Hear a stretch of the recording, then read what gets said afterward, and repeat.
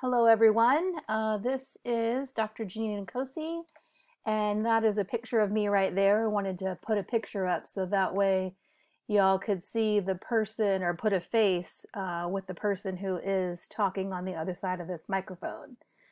Uh, a little bit later in the semester, we're going to do some stuff with a tool called Flipgrid and I'll do some um, screencasts like this and do the dual uh, screencast with the little webcam in the corner, but uh, for purposes of this one, I'm just going to keep it short and sweet.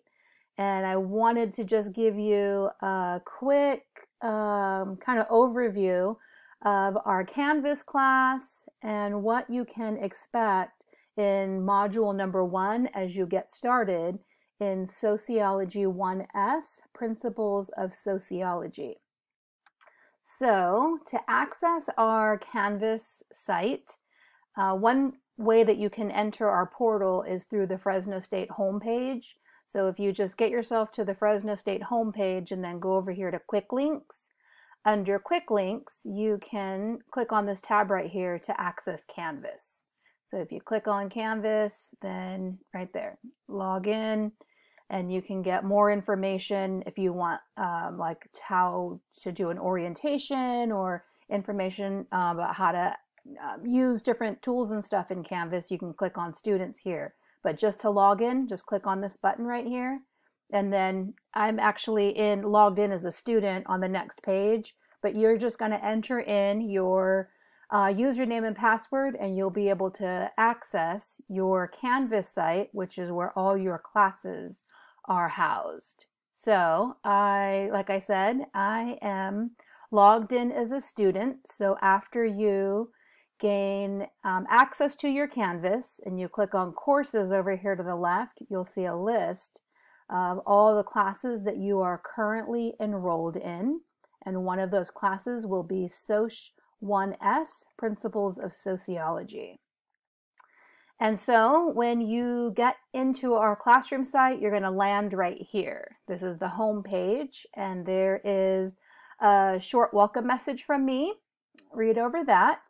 And then right below that is some kind of getting started in our class information. So it's important that you read this. I wanted to provide some basic information about what the class entails every single week. So things might get modified a little bit here and there. Sometimes there'll be um, uh, online activity, sometimes there won't, but there's a basic structure that um, I follow every single week. And so, for an example, every Friday at 8 o'clock, I'm going to open up a new module. And then you have from Friday at 8 a.m. all the way till the following Thursday um, at 11.59 p.m. to complete the module. So you have one full week. Um, of course, I recommend that you get started on it the weekend um, before it's due. Do your absolute best not to wait until Thursday because it is something that you're going to want to break up over a couple of sessions. Each of the weekly modules contains some basic information. There's an overview, like a little description, and I'm going to show you in a minute um, what this week's module looks like. Um, there's also a checklist. I'll show you that. Uh, most of the time, I will provide a PowerPoint, just like a little PowerPoint overview. If there are videos or films or anything that you're going to watch, all the links and everything that you need are going to be right there in the module.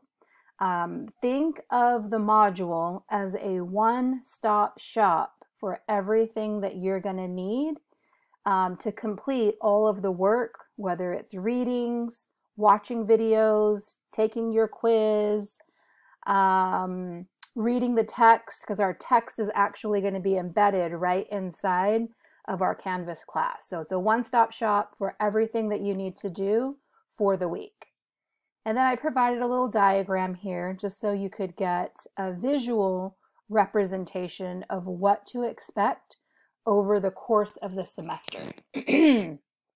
so each of the weekly modules, like I said, there's a reading. Um, sometimes there might be an article or something.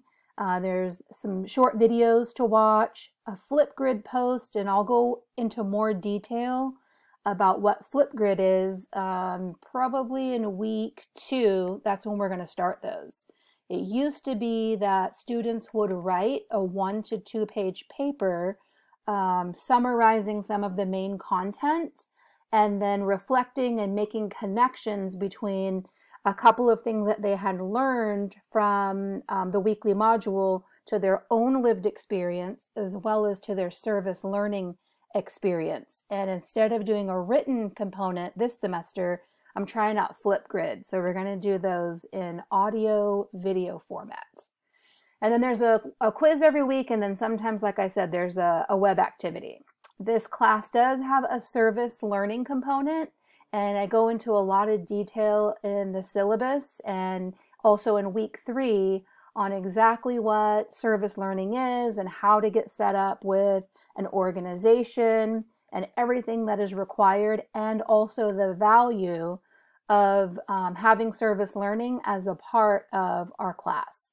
So there's a couple of forms that you'd fill out, um, 20 hours, and I know 20 hours probably sounds like a whole heck of a lot, but we have 16 weeks together. So I really, if you think about 20 hours over 16 weeks, you're really talking about one or two weeks over the course of the whole, I mean, excuse me, one or two hours each week over the course of the whole semester. Or we're talking a couple of weekends, two or three weekends, uh, where you're just doing like a full day on a Saturday, depending on your service learning location and also depending on your schedule. Now, this is an online class, so if you absolutely uh, need to do your service learning online or remotely, then just hit me up by email and I'm going to work with every student. Uh, oftentimes, I have students that are either serving in the military and so they are taking this class very far away um, and also their schedules and um, do not allow them to be able to engage in a service learning. Or I have um, pregnant mothers who are going to be delivering very soon. Um, I have students who are international students and are taking the class um, in a different country. And even for those students, I've been able to work with them and they've been able to find um, really cool service learning opportunities wherever they are located. So don't stress over the service learning, and please do not drop this class because you are just finding out that there is a service learning component. Service learning is awesome, and I guarantee you by the end of the semester, you are going to be so thankful that you stuck it out and you stayed in this class and you were able to engage with some really awesome folks in the community who are doing the work that we're going to be learning about in our class this semester. And then at the end of the semester, there's a service learning essay. So uh, the university requires one five page um, essay to be written um, as part of the GE undergraduate requirement. And so for this class, you are going to um, combine uh, your experience in your service learning with your learning in um, our text and videos and like the academic learning with the community based learning. And it's very structured. Uh, five pages might sound like a lot right now, but trust me, by the end of the semester, you're going to have so much to put in that paper that I always have students that email me, hit me up asking, can they write their paper six or seven pages? So, Five pages, definitely. It's very highly structured. Don't stress over it. Um, the other component is exams. There are three exams uh, in this class. They are not cumulative. So uh, the first exam is chapters one, two, and three. Second exam is four, five, and six. And then the third exam is seven, eight, nine, and a part of 10. There is no final exam. There is a final activity. Um, so that is like the basic format of this class. There's a weekly module that's got certain components, there's a service learning component, and there are a few exams. And then also on the home page, if you go to the very bottom, there's just a little note about module number one. So module number one is open on Canvas, and I'm going to um, show you where you can find that And actually, one of the things in the module is to read over all of the information on this home page. So you can see um, it's, you know, it's fairly, it, there are several components every week, but they're very straightforward um, and kind of right to the point. The first module is due next Thursday, August 29th, um, before midnight. So make sure that you get it done by 11:59 p.m. before midnight. So the other thing that um, you're going to want to do is to click on the syllabus tab. And this, um, well, actually, let me pull up the actual syllabus. So this is a hard copy of the syllabus, and I did provide this, um, a link to this on our Canvas site. But I basically took our hard copy syllabus and it's got all the different components here like the course description and the objectives and the student learning outcomes and I built it into our Canvas site. So you can definitely read the hard copy of the syllabus. I actually encourage you to read the information on our Canvas because I was able to put in some additional hyperlinks um, and resources and stuff in the Canvas version but both are available to you and it's really really important that you read over take your time because there's quite a bit of information in there um, but read over the syllabus um, don't try to take all of it in in one sitting because you might get a little overwhelmed and um, i don't want you to get overwhelmed this the syllabus is literally the whole roadmap for the entire semester so take your time and read it over right now and then refer back to it throughout the course of the semester.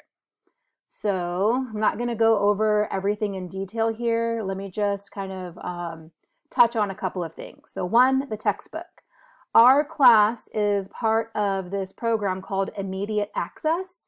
And the reason why I opted into the Immediate Access program is because by opting into this, uh, the bookstore was able to get the book for you all at a discount.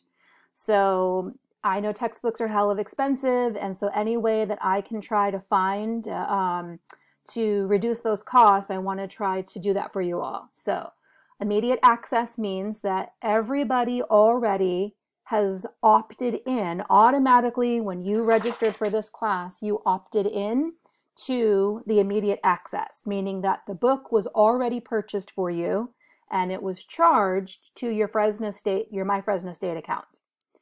Um, and so you want to, instead of buying the book separate, the book has been purchased, and so you just want to pay the university through your My Fresno State account um, to reimburse the university basically for your book. Um, the there is an option if you want to opt out. Maybe your funds are a little tight right now, and there's no way that you can pay for the book before September 4th. If that's the case, then you might need to opt out and then um, purchase your book separately. And so I provided some information here. There's two ISBN numbers. It's really, really important if you decide to purchase the book um, or if you need to purchase the book um, separately that you make sure and you get the Revel access code. So the um, the book has like videos. We'll take our quizzes. It'll be embedded in our Canvas. So you have to have the access code uh, in order to um, when you purchase your book. So James Henslin, this is uh, what the cover looks like. His book, I love it. It's awesome. I've been teaching with it for um, since basically I started teaching sociology uh, about nine years ago. And what I like about James Henslin's book and the feedback that I continue to get from my students every semester is um, that it's very accessible. It's a really engaging book. Uh, James Henslin actually has these really cool, like, case studies or vignettes that he opens every chapter with. And the vignettes are based off of his actual um, experiences traveling or encountering different cultures and different subcultures and different groups of people uh, that he and his students have engaged in over the course of the years. And so um, his book is called Essentials of Sociology, a down to earth approach.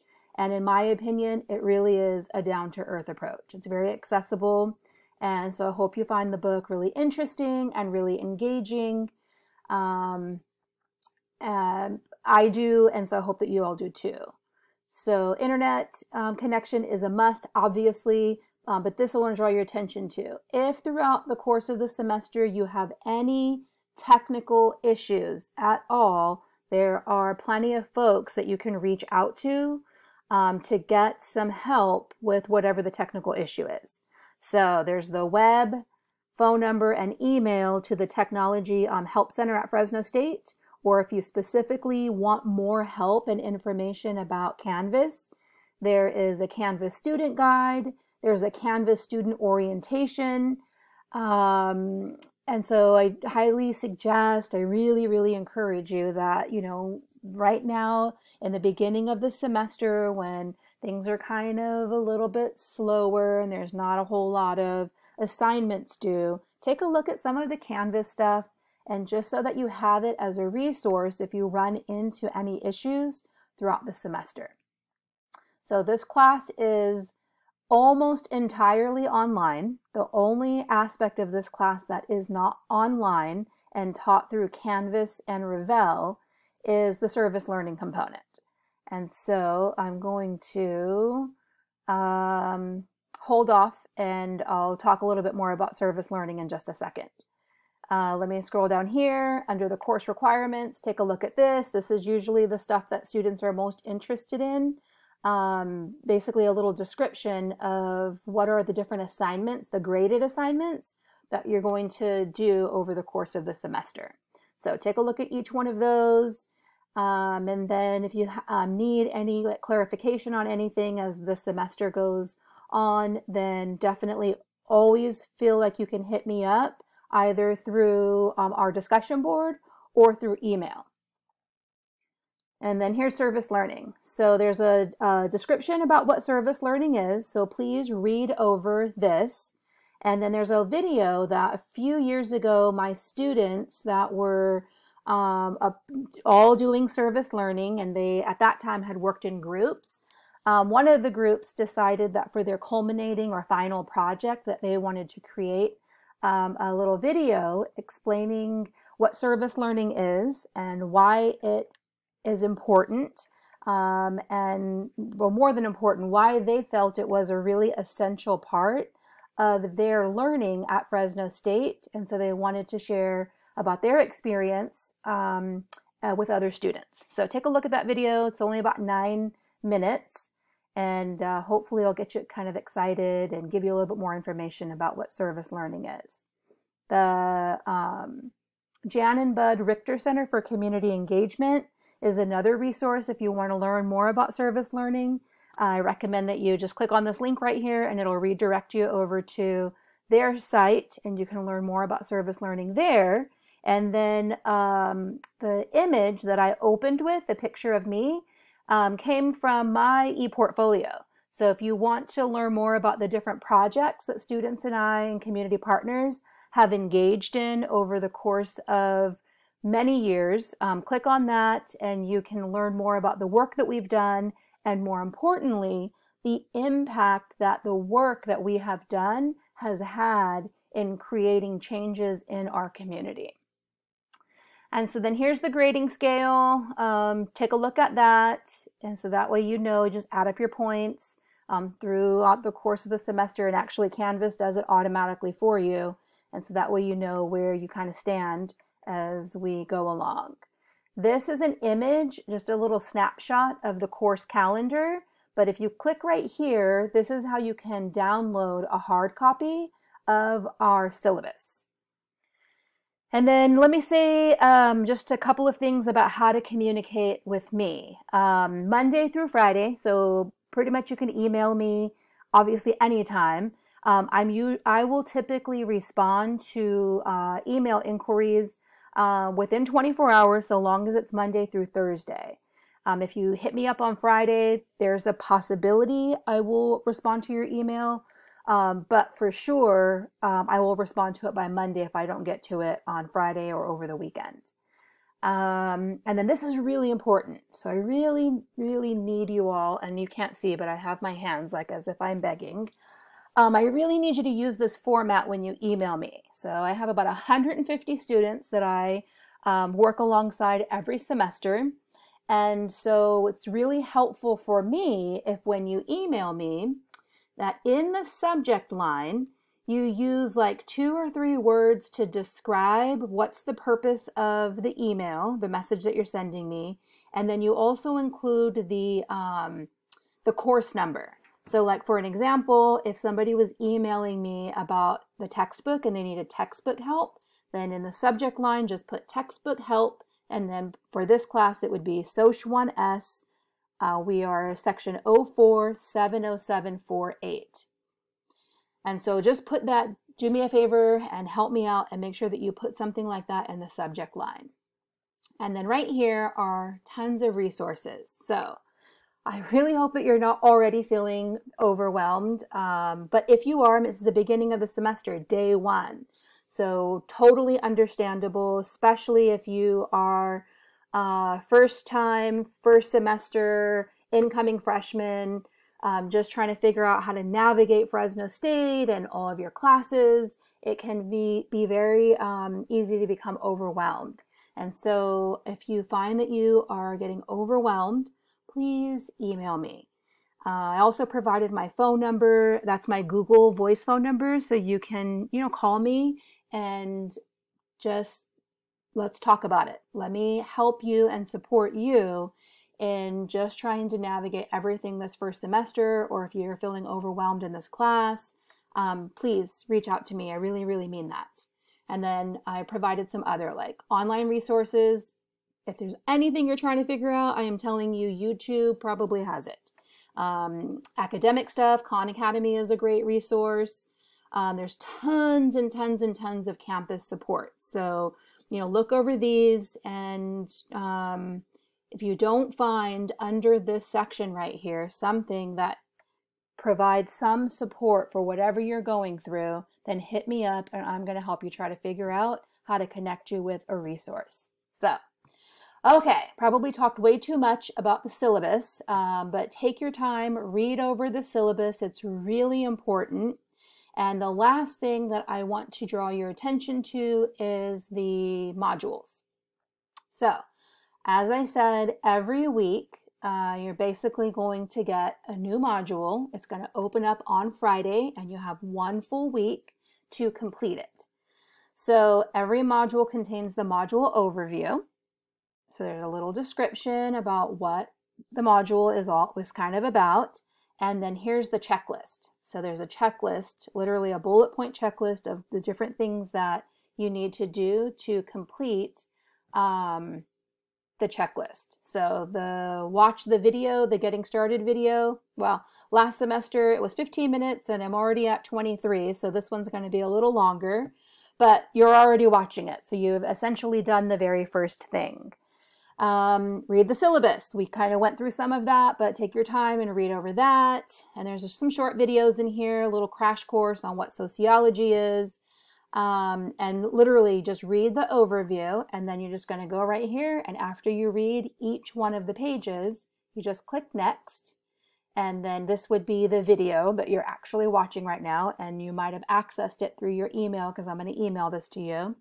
Um, watch the video and then here's a little short video, three minutes, on some tips on how to be successful in any online class. And then go next. Here's the crash course on what is sociology. I like crash course. Uh, they're pretty engaging. They are, they do talk fast in the videos, but refer back to these. Maybe um, uh, subscribe to Crash Course on YouTube and refer back to some of this stuff. I, I think their stuff is pretty interesting and pretty engaging.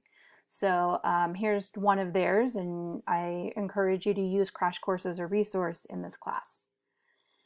And then there's a little excerpt, pretty short reading, uh, excerpt from Invitation to Sociology by Peter Berger. Read over that, please. A little bit of um, excerpt from C. Wright Mills' Sociological Imagination. And then there's a short activity on meeting your peers, kind of a community building, getting to know one another. Um, I already did my Google slide and I've already updated my profile with my picture and a little bio and some contact info. And so that's basically what this activity is about. And then the last thing is a um, getting started quiz. So the quiz is basically 10 questions, a half a point each. It's not timed and it's basically information from the syllabus, the homepage, this video, and module one. So um, after you've done everything, this is just to kind of test your knowledge. And since it, there's no time limit on it, if you come across a question and you don't know um, the answer, the reason it doesn't have a time limit is because I want you to go into um, back into the syllabus or wherever to find out the answer. And then that's it. That would be the end of uh, module number one. And so uh, that's pretty much everything. I guess one last thing I should talk about is the discussion board. And so I really, really want to encourage you all to help me help you. And so that's what one of our discussion boards is. And I'm offering extra credit. So if you just click on discussion board and then go here, um, offering one point of extra credit to the first student who responds thoughtfully and accurately to another student's question on the discussion board. And so the reason for this is I don't want y'all to wait for me to respond. Help each other out. So first, look at Canvas and see if you can find the answer there. Look into the syllabus and see if you can find the answer there. And if the answer to your question is not in the syllabus or on Canvas, then post um, um, a discuss, well, post your question here and then anybody can respond to it. And I really want to encourage you all to help each other out. Like I said, there in this particular class, there's 45 of you and one of me, and then I've got three other sections of Soc 3S. So I've got quite a bit of students, and trust me, I mean, I do want to support you in all the best ways that I can. And one of those ways I think is creating opportunities for you all to connect and support one another. So that's what this discussion board is all about. Okay, so I know that was a lot of information. I can't believe I've talked for almost 30 minutes. Um, I hope I didn't bore you to death. I uh, hope I didn't overwhelm you or scare you away. It's a lot of information here in the beginning because it's the whole overview of Soc 1S. Um, but after we get through this first hurdle of kind of getting ourselves set up for the semester, then we're going to ease in and start um, just really digging into sociology and what that means and all these really cool concepts and theories. And you're going to be making all these connections between what you're reading in Henslin's book and the videos you're watching to your own lived experience. I can't tell you how many times when I was a student that I would just have all of these aha moments where I was like, wow, I knew this, but now I have these like concepts and theories to um, this language really to um, describe some of the things that I have been observing and experiencing throughout my whole life. And so I love sociology. I love teaching. I love my students. And I am really um, excited and looking forward to all of us having a wonderful semester together.